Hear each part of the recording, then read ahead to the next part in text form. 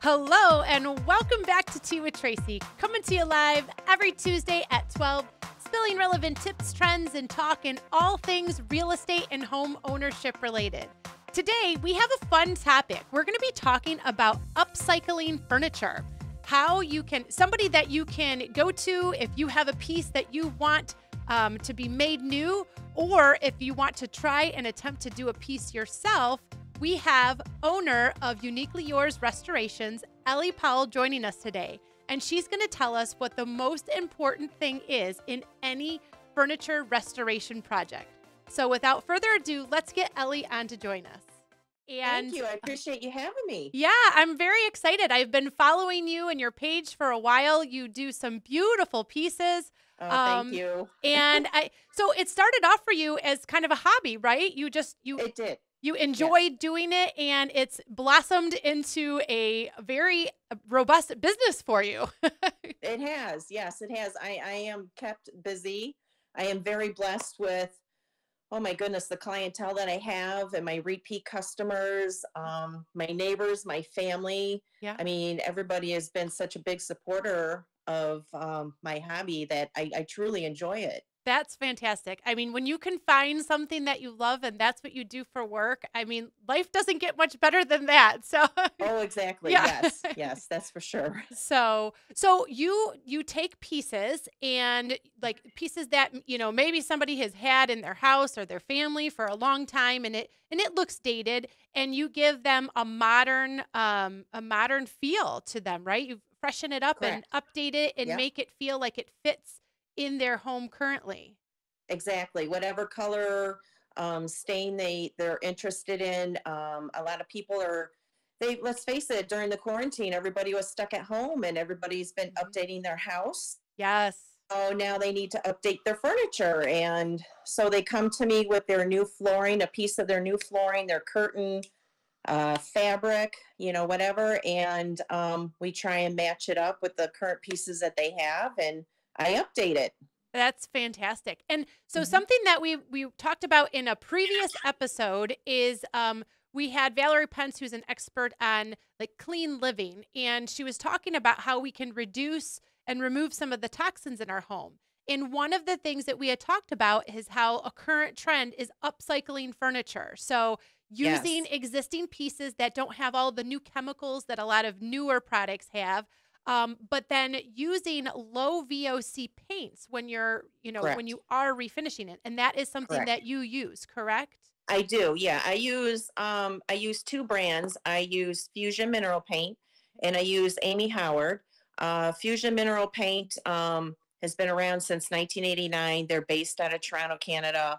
Um, their product is environmentally friendly, uh, lead free, low VOC, odorless, um, and even the jars that they put the paint in yeah. is 30% recycled. Oh, that's great. Yeah. So, so they're very um, environmental conscious and health conscious too. Correct. So yeah. Making I mean, sure the that... more the more I'm sorry, I don't mean to interrupt. No, no, no. Yeah. Um, the more that we can keep out of the landfill, the better yes. for our environment, right? Absolutely. Well, mm-hmm. it's it's keeping those pieces out of the landfill, and it's also you know not thinking about how like some of this like we wouldn't even think about it how there some of the chemicals and how our newer items and furniture right. are being produced what that lets off into our homes like we don't oh exactly we don't think about that so yeah no. if we can reuse a piece that doesn't have those chemicals um, right that's that's great right. as well and i found too that you know there's a lot of pieces that have just been built so well um i know mm-hmm. like i have a great bedroom furniture set that I mean, it's built very well, but it, you know, it looks a little dated. It's over 20 years old and it doesn't really go with the current, you know, right theme right. and you know feel right. that I want. So well, that, I'd love to have the chance to refurnish yeah, it. I was going to say I think uh, I might have to try. If I ever get an opening in my calendar, I'm, I'm I know. so booked. I might have to book you for some time in next next year to probably because I know you have a a full schedule. So um yeah, so it's definitely getting on your calendar in advance. But but you're also going to share with us for for those who would like to try and do a piece on their own um, mm-hmm. or maybe it's something that can't be moved. I know I was inspired after we had a, a, a little bit of a conversation last week and I was inspired. I'm like, ooh, I think I want to try to do my banister. I have a short banister within my home that, again, like the coloring, the stain color, it- it's just not the look that I want um, for some of the changes I'm making to my home. So, if Mhm. somebody wants to tackle a project on their own, what is, I know you said there's one piece that is absolutely critical, the most important piece. And what It is is. that?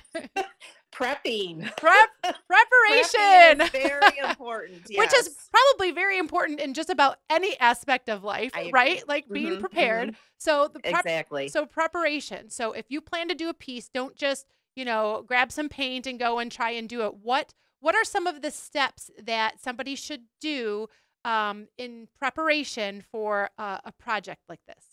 Well, it's pretty simple. Uh, basically, you want to make sure that you wash it with um, TSP. Uh, you can use that. Okay. Um, or you can use Dawn dish soap and warm Okay. water or vinegar and water. Okay, Because you want to make sure you're getting the grease, the oil, the fingerprints, right. you know, dust all taken off. You're trying to get Um, a, then, a nice surface that, you know, that's Right. clean before you. Yeah. correct. Okay. Yeah, yeah, because you don't want to paint over all that stuff. Right. And even if it's got some type of, um, some people clean their banisters with polished furniture, you know, to shine it up. You want to get that off too. But okay.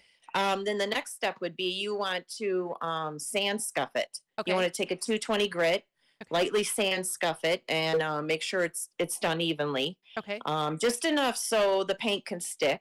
Okay. So you don't have to sand uh, it sand it down to bare wood. No, Okay. there's no need to sand it down to bare wood unless, oh, I don't know, unless you got banisters like mine where the paint is actually missing. you know, is it- right. You know how it goes when you turn the corner and you grab the. Oh yeah, the yep, yeah. There's certain places that are a little more worn off. worn than others. Yes. So and yeah, when you have so kids, you, would- and you yeah. would need to to evenly sand it down. I, I would say, Okay. and then after that, um, wash it again, really good to make sure you get that dust off, and then paint away. Okay. and y- and you want it's going to take um at least two three coats Okay. um And is there?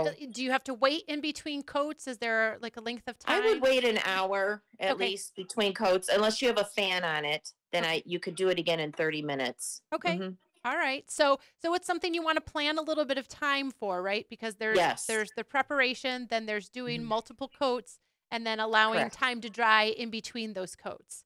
Is there anything yes. that needs to be done then after you paint to seal it, or is it ready to go? um yeah no fusion has a product it's a top coat that you can use to seal it okay. if you want to um or you could just go to your local hardware store and get a polyacrylic okay. i myself don't like to use um, polyurethane because it tends to turn the color yellow Okay. you know it turns things yellowish Right. like and especially if you're doing a white or a light color, you Yes. definitely don't want that. No, no, not at all. So yeah, definitely a water base if you're interested. But the paint will need at least uh, 20 days to fully cure. Okay. So I mean, I wouldn't, I wouldn't Yeah. be manhandling it, you know, the next day. so so if you do it. something like a banister and you have kids in the house, maybe put like that caution tape around it so that exactly, so that they're not, you know, don't touch. grabbing it every time they walk up and down the stairs, right? right, right. So, And it, as far as, I mean, would you recommend if somebody wanted to give something to try, maybe start small and then, you know, something I, small? would start with an end table if you want to start small, smaller bench. Okay. Um, some people have done a chair. Okay. So, you know, anything like to practice on, just go to the thrift store.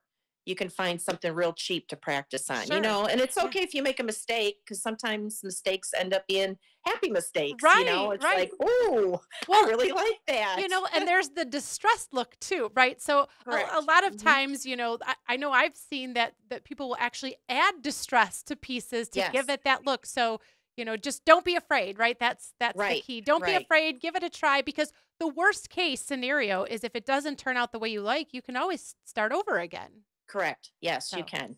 Yep. so, hmm all right so there's no reason to fear so so give No, us not at all. give us an example of some of the project what are some of your favorite projects that you have worked on Oh my goodness. Well, I tend to do a lot of dressers and I really enjoy doing dressers and buffets. Um, I would say those are my favorite. okay and I, what I do enjoy doing those because um, when I pick them up, I try and vision a color for them, you know, because each piece to me has different characteristics. Mhm. You know, they've had a previous life Right. and um, they've been previously owned and used and you know they got their normal wear and tear so i love to instill new character into them if i can Yes. Oh, that's Mhm. fantastic. And yeah, like you said, you you take the requirements or like not the requirements, but but the the feel of the room that the piece is going to be in and Yes. help give it its own character so that it, it Mhm. fits in as well. So hmm that's fantastic. So well, anything else that you want to share with viewers regarding you or your business or furniture oh well uh, like i said i i do um i do sell uh, i have merchandise on hand. Okay. you know again it's previously owned pieces with normal wear and tear to be expected.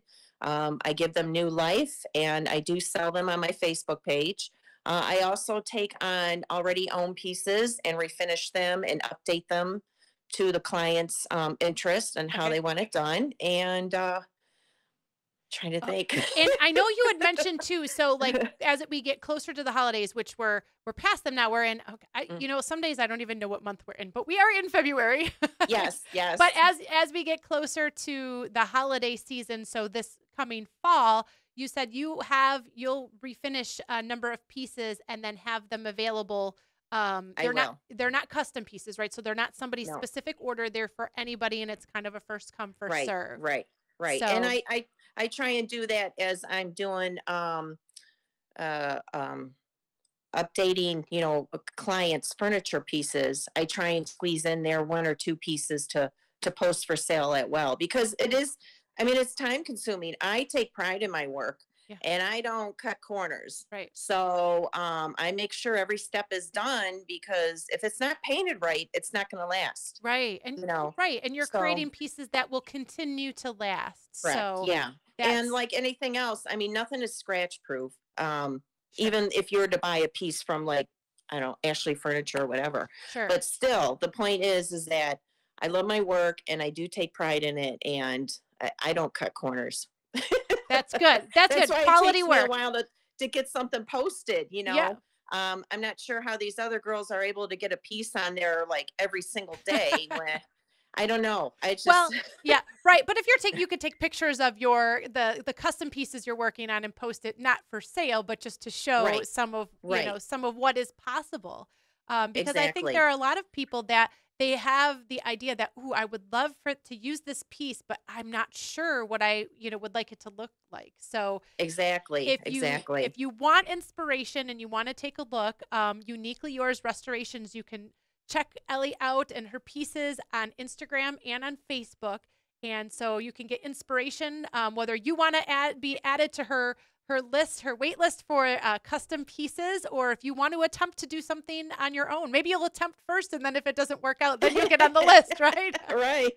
No, I'd be happy to. So, I would be more than happy to help guide anybody along. I mean, I I have a client that again, she wants to refurbish her piano, and I I told her to reach out to me. I'd be more than happy to help her because I, it, it's a piece that's just too big to bring over to my shop, right. you know, too much. Yeah. So she's going to attempt it on her own, and Okay. I give her credit. I mean, that's great. That is great. Yes. I mean, I'm sure it'll look beautiful. Tell her to take before and after pictures so that we can we Exactly. can see them. So, oh, exactly. uh, well, thank you so much for joining us, Ellie, and thank you for all the beautiful work that you do. Thank Um, you. I appreciate you having me on. Oh, it's a pleasure having you. And again, if you want to check out her pages for some inspiration, um, uniquely yours restoration, and um, you can check that out here on Instagram or on Facebook. So.